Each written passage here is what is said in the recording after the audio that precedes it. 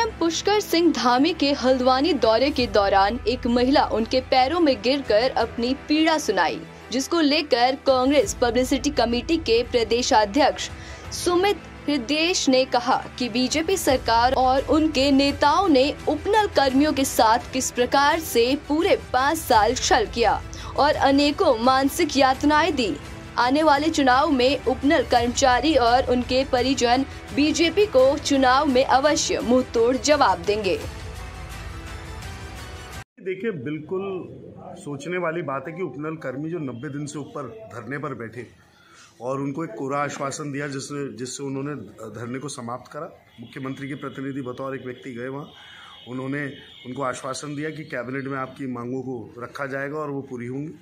और जिस प्रकार से छल गया उन्हें, वो उनकी निगाहें जड़ी रहीं कैबिनेट बैठकों पे, लेकिन उपनल वालों को धोखा मिला। ऐसी पुलिस कर्मी जो हैं, उनके पेग्रेड जो छियालीस वाला मसला था, उसमें भी उनको आश्वासन दिया, उनको धोखा मिला। तो धोखाधड़ी करने वाली ये सरकार है, उस